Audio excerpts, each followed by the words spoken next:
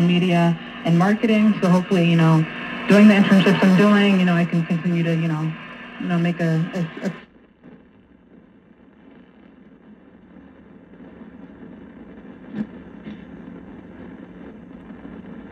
comfortable. And you're going to have to get over the comfortable part and go do something really hard. Ooh, that's so